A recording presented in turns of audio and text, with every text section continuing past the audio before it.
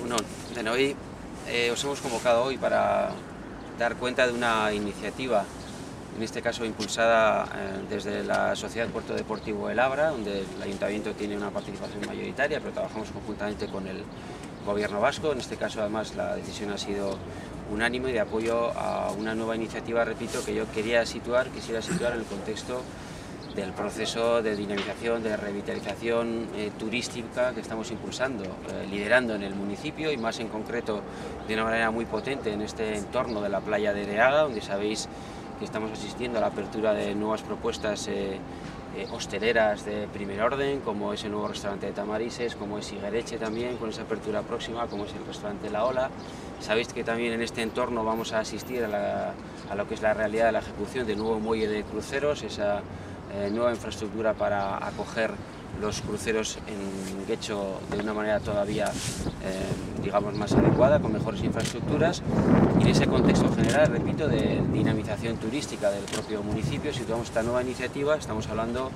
de la habilitación aquí, cerca de la capitanía del puerto deportivo de Guecho, de un eh, pantalán de servicio.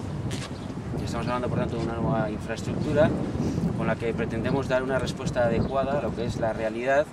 de las nuevas iniciativas que sean una realidad ya en todo el contexto de la Ría de Bilbao, de eh, iniciativas eh, y negocios empresariales que van en el sentido de organizar excursiones por toda la ría. Es evidente que en, la última década estamos viviendo un proceso de revitalización de toda la ría eh, de Bilbao, de todo el Bilbao metropolitano, con nuevos elementos de atracción que ha supuesto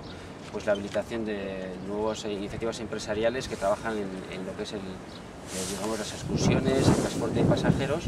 y con este pantalón de servicio lo que queremos es apuntalar al hecho, apuntalar la conexión Bilbao-Gecho en ese servicio de transporte turístico, digamos, y por tanto dar una respuesta adecuada a todas estas iniciativas empresariales que trabajan en esta clave. Eh, con este pantalón, eh, digamos que reforzamos por tanto Gecho como, como destino turístico también vinculado a Bilbao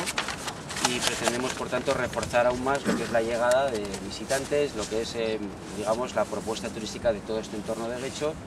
en lo que, repito, situamos en una nueva apuesta por la dinamización turística del municipio. Hasta ahora disponíamos de lo que es el puerto deportivo de Guecho para este tipo de servicios, pero es verdad que con este nuevo pantalón ofrecemos más seguridad, más espacio y por tanto más facilidad para el embarque y desembarque de pasajeros y por tanto un mejor servicio a todas estas propuestas, sin perjuicio de que dejamos habilitada una infraestructura para en su caso también dar servicio a, nuevas propuestas que puedan surgir a, futuro. ¿no? Quién sabe si a futuro también la ría se erige como un medio de transporte para comunicar todo el metropolitano ¿no? y en ese sentido también tendríamos una infraestructura preparada para todo ello. Por tanto, una inversión potente de 300.000 euros que corre a cargo del presupuesto de la sociedad Puerto Deportivo Labra, no, de no del presupuesto municipal,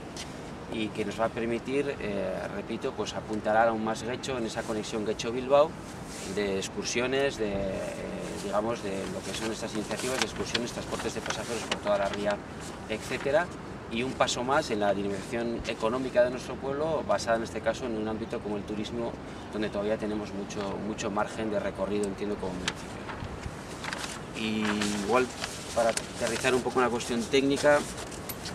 le daría la palabra a Álvaro para que explique un poco en qué consiste este pantalón de servicio.